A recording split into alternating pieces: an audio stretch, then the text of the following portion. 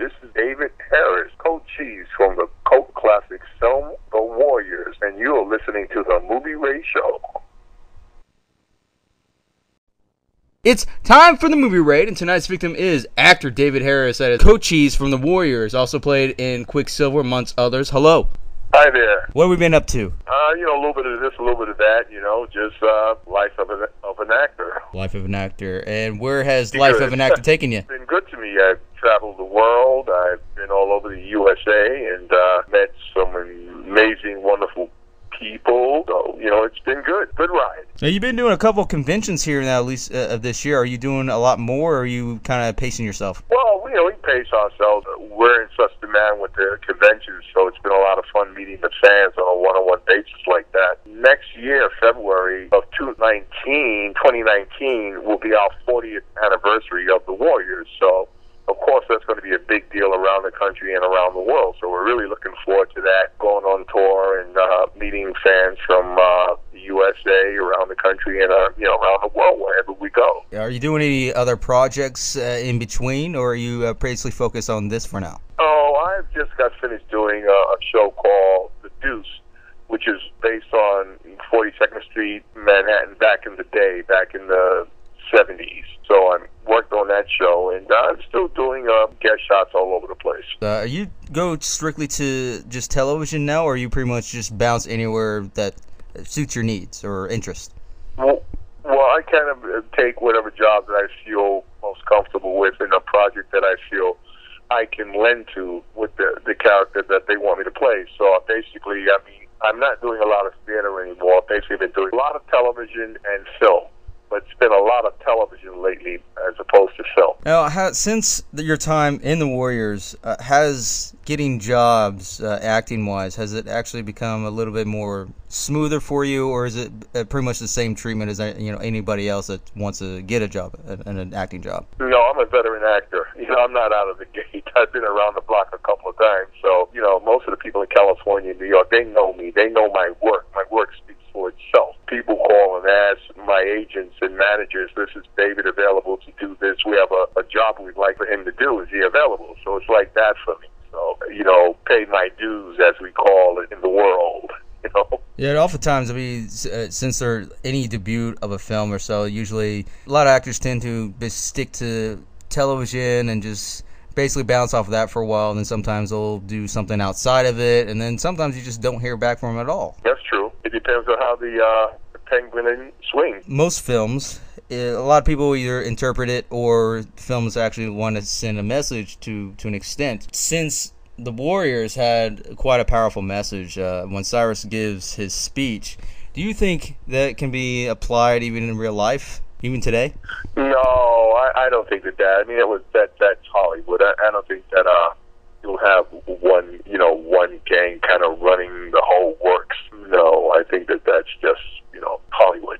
But I, I don't see that. Plus, gangs are not what they were back in the '60s and '70s, and a lot of the gangs in the in the film were, you know, kind of imagine imagination gangs. I mean, you really didn't have anybody running around just like the baseball furies or the Turnbull ACs or the hi hats or some of these gangs that you saw in the film. Uh, they were not running around New York City dressed like that. I mean, it was Walter's vision, and it was an amazing, amazing vision of he, of he that he had to, to make these these games look like that. The interest of the uh, of the of the audience and the visual effects of it. Yeah, I mean, uh, it, it's it's truly a fantastic film itself, and I, am not, I'm not going to get all fanboy on it because uh, I think it's a, a really actually I think it's an important film too because if you were to look at this film and compare it to daily type of activities or events, I mean, you kind of could take a little piece of it, like what Cyrus says in the speech. I mean, I'm talking about the speech itself, uh, not the actions of, of what he was trying to do, but I mean, like the speech itself is, is pretty inspiring. Yeah, it is. I agree with that. Yeah, yeah, yeah it is. I mean, uh, if, if something like that could indeed be uh,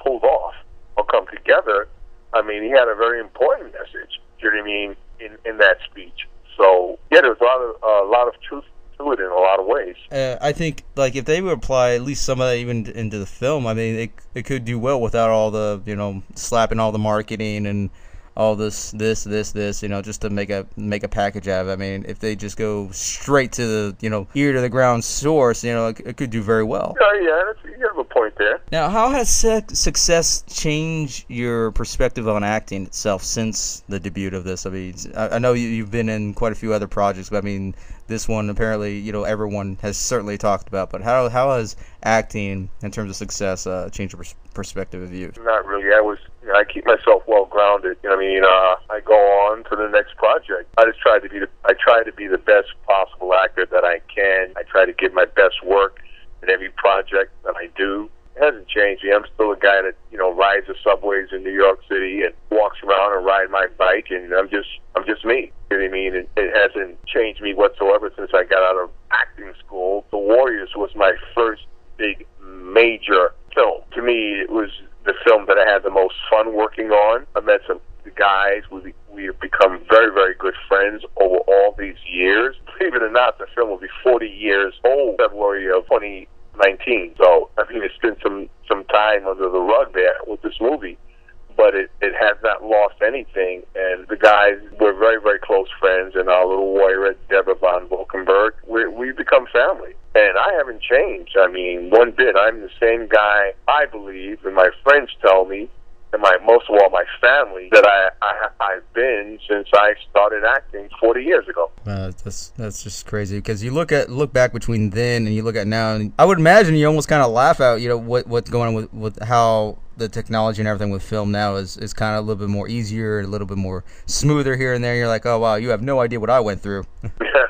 Well, you know, the, the making making movies is totally different now. You know, it's so much digital and all this sort of stuff now. You know, when, when we shot the Warriors, film was still being shot on film. You know, but now it's so much digital stuff and the rest of it. And the technology, you know, it's advanced and movies look great. I mean, you know, you can do so much with computers and add and take out embellish and all that. Back when we had the Warriors, we couldn't do all that. I'm I'm all for uh, technology and the way they make movies now, but I kind of still like the old way. Like you know, 50s, 60s, 70s, 80s, and so forth. It, it you get that kind of in the moment kind of rawness to it. I mean that in a good way I mean, you feel the moment. You look, you're like, you're basically right there in the moment. You look at these like newer films. Okay, it's all action packed. It's it's fast paced. It's this and that. Yes, it's it's got good graphics here and there. But it almost seems like the feeling is not uh, there as much anymore. You you can't really focus on the actors themselves. No, it's because you you know it's so it's so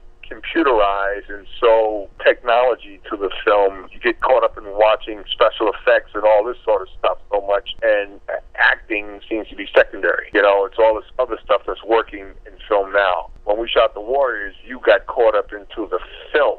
You got caught up into the actors. You got caught up to what they were doing what they were saying. All those films back from, you know, when they started, before they started making talkie, you know, silent film you know, you you you were watching what the actors were doing, you know, and wonderful directors and wonderful uh, cinematographers. And then we got the talkies, and then you paid even more attention because now you can hear your actors speak. All those great films that came out of the 40s and 50s, film noir, all that black and white great stuff, all those great movies from the 30s, 40s, 50s, 60s, 70s, uh, my favorite period was uh, the 70s. I loved all the stuff that came out of the 70s, like Easy Rider and Clockwork Orange, and you know some of the stuff that that was made by these amazing directors, and the acting was just so superb. And that that was my time. I love the 70s, and I love a lot of stuff that came out of the 40s. You know what I mean? The Bogart era, all these wonderful, wonderful actors, you know, the Brando era, you know, all these great films on the waterfront, you know, The Godfather, all these incredible, incredible movies. Oh, definitely. Uh, I mean, like, appreciation seems like it kind of dissipated since then. I mean, you see, like, all like the directors like Clockwork Orange and like like you just mentioned, these guys are like started their career, and you know, we know now, you know, since the last what twenty years, thirty years, whatever, and so forth but like the appreciation seems like it's kind of depleted because it's you know like like I said it's all action based it's this that this and you know slap it on a marquee a poster here and there but I'm like where's that real you know, in the moment anymore no it's not it's and it's just it's it's kind of sad in a way uh, because I think movies have become so technical now and so computerized, and what you can do with computers and what you can do on film now. And, I mean, anyone with a cell phone can go out and make a movie now. You know what I mean? you know, Yeah. digital camera, go make a movie. You know, you know, but it's it's technical. It's not it's not uh, the way it was back in the day. No, that's what I always love the older films, man. I mean, just like the Warriors, I love the fact that it's in the time period, not like fabricated of the time period. It seems like you know the actors were are trying to act the, the part. I mean, you, you just felt and you, you can look that they're trying. I mean, it, I just think it's fantastic with these older films. I mean, kind of take notes from the from the directorial notes from then and still apply it today, even though we still have all this nice, good stuff with it. I mean, I'm not saying you're not going to make a bad movie with it. Right, no, no, and I, and I agree. I, what, that's why I like Quentin Tarantino because he he has a feel for making films that look like it came out of the 70s and 80s. Do you know what I mean? I feel that's my opinion of, of Quentin's work. Do You know what I mean? And a few other directors that make uh, their films look like that, you know, and it's not so digital and, and computerized and, you know, all that sort of stuff. Special effects and all that. But I'm all about practical effects, and you know, yeah, I, I believe it or not, I believe I prefer a guy in, in a rubber suit rather than a puppet, rather than to see something that looks like just popped out of a cartoon where everything else is all frozen in the background. Yeah, I, I, I see what you're saying. I understand what you're saying. It's like, all right, I'm, gonna go back to watching this. It's like, well, you're gonna watch that? It's like, yeah, I'm gonna watch that. But I mean, it's about the, the quality and the commitment. And do you think commitment has depleted as well, or do you think it's just a whole new re- reformation and no one knows what to do anymore? Yeah, Unfortunately, the, you know, movies become now about money. You know, it's all. You know, I'm not saying that it's not has not been about money before, but right now it's it's basically a lot about money. You've got a lot of lawyers running studios and all this sort of stuff that people never see, and it's about well, you know, the money. You know, we got to we got to get what we want for our money, and it, it costs so much money now to make a film, unless you're making you know student films and uh, very low low budget films, and even with a very low low budget film, you have to be very careful because the dollar can only go but so far. It's these movies that they make for you know hundred million dollars plus. I mean, the people that are in charge of the studios are worried about their money. You know, Yeah, and I understand that because it's a big investment. it is. No one wants to, you know, no one wants to lose. No one wants to put two, three, four hundred dollars into making a film, and the thing makes twenty-seven million dollars at the box office. You know, no one, no one wants that. You know, Yeah, they, they got to make the money back somehow, and I totally understand on that on that side and stuff. But then when you just basically code it, code the entire film like this, it, it you know, it, it, you got to think about the audience, man. The audience is they're the ones that are going to watch this. They're the ones that either they're going to like it, they're going to hate it, they might get inspired by it. They, you know, you never know in general uh, about this, but I think all companies really has to consider what the audience, and not not exactly like on their opinion, but the reaction. right? Well, I think right now with you know all the films, all the big budget films. I mean, these directors and their producers are all looking at like, well, okay, what does the audience want right now? Do they want a remake of the Bruce Willis film? Uh, it's now uh, now with uh, The Rock is called Skyscraper. I mean, you know, all these remakes of stuff, and you know, very very highly digitalized and animated, and you know, all this sort of stuff. Special effects, great special effects. I'm not taking anything away from that.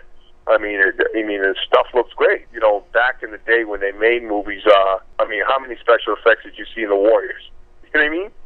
Mean, you know, we it was a budget, I believe, of something like eight million dollars. That was considered a lot of money back in the seventies to make a film like like that, like The Warriors. And, and now, I mean, if you would try to make The Warriors today, and I hope they don't, it would cost eighty million dollars more, whatever. Eight, I don't know. I mean, dealing with the city and trying to reproduce that. Yeah, it'll basically be guest rappers playing as the Warriors and guns and all Monterey and sex scenes here and there. It's just, uh, I, I really don't want to get into That would be terrible. Uh, to me, my opinion, I you know, I mean, if it ain't broke, don't fix it. I mean, to me, certain films, you, you they're classic films, and you, should be left alone. Like The Godfather. How do you remake The Yeah, Godfather? it's like don't you even dare touch The Back to the. Future either. Don't ever To touch make that. The Warriors. you know, you, you can't. Certain things leave alone. You know, leave alone. And Hollywood makes a lot of remakes of stuff, And you know, to me, I don't go see a lot of remakes of films because I just think, especially a classic kind of clown, I don't, I don't go. Yeah, I, I, there's to me, there's a very few. For me, in my opinion, there's a few actual decent remakes that I was like, okay, that's pretty good. You know, like I absolutely love John Carpenter's The Thing, which is a, a, it's kind of a remake adaptation. I love it. That's one of them. That's one of the films that okay, uh, John did a great job with that, and it was very appealing to the audience, and it was a hit and uh, it was a terrific, terrific movie. I saw it three times.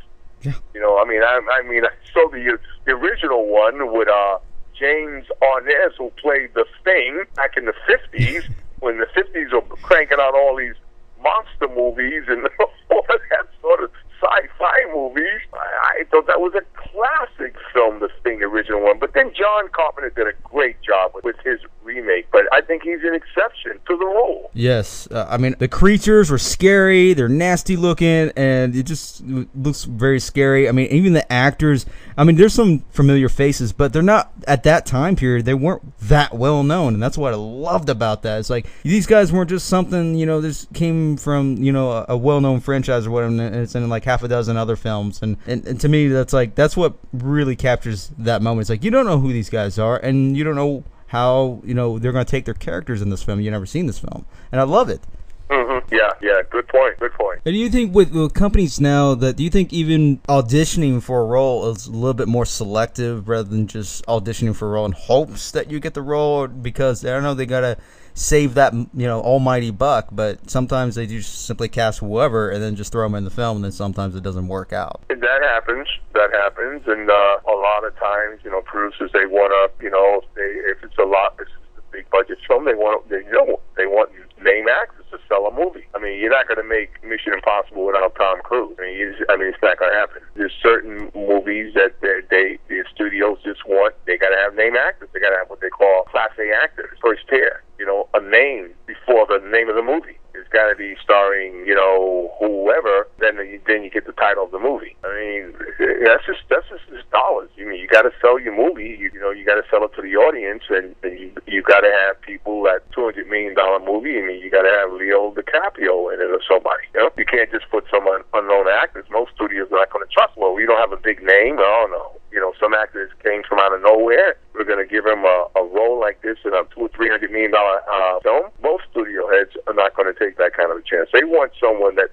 bankable, that's going to bring the audience in. Yeah, but when it comes to like, since you played so many supporting roles and several, quite a few main roles, how would you actually pr- approach an actual interest to bring that out to the audience, especially when you're playing as a, a supporting role? Well, I mean, to me, the supporting roles are always, to me, are, are the best roles. The, like the character actors, like Joe Pesci, who who doesn't play the lead man, but always plays the backup and, and the character guy to the to the lead guy. I'm a character actor and always have been a character actor, and uh, I approach my work from that that point of view.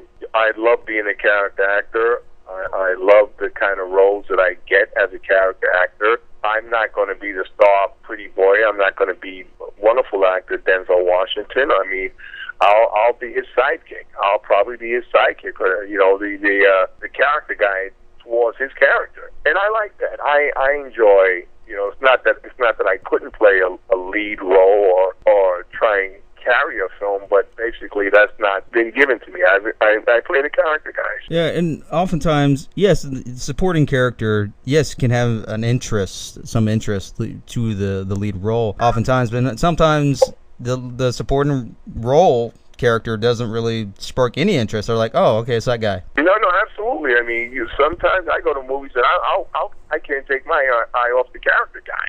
These roles are juicy, they're wonderful. Do you know what I mean? And a lot of times it can be more interesting than the, the lead, the lead guys or lead women.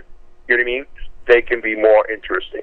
Yes, I, I totally agree. You remember the bad guy. You remember the, the good crazy guy. Remember the character guy that was the lead lead guy or the lead girl? That's Finn. Yeah. Or their nemesis. There's always that one guy or that one girl that you could totally point out in like half a dozen of these films. Like, hey, there's that one girl that said that one thing, and now she's you know doing half a dozen other uh, well-known films. I mean, I looked at I looked at a film like Silence of the Lamb. I couldn't take my eyes off him. Uh, you know, Jodie was wonderful, but I couldn't take my eyes off Anthony. To me, the whole film was about him. I I mean, she was, uh, you know, blah blah blah blah, and she was very good in that in her role, and so many other people. But I, to me, I couldn't take my eyes off Anthony Hopkins. I mean, I just couldn't. It's truly amazing when when two characters have a, you know some kind of a relationship, friends, lovers, whatever, but also has some kind of a, a bond with the audience themselves. That's that's what I see a lot of films today, or just just just kind of not really pushing for that. I mean, sure, you you got this uh, pizzazz. You gotta have your audience on your side too at some point. Of course, of course. If the audience falls or just gets bored, then the film didn't didn't didn't do its job, or something's not right. You know, if you can't hold the audience, something's not right. Go ahead and plug in anything that you would like to promote, any convention, uh, you know, websites, any dates, or any project that's coming out, or anything like that. Yeah, people can go to my website. It's called the officialdavidharris.com, and uh, you can find out what I'm doing, what's coming out, all of that sort of stuff. There you have it. That is actor David Harris. Warriors come out and play.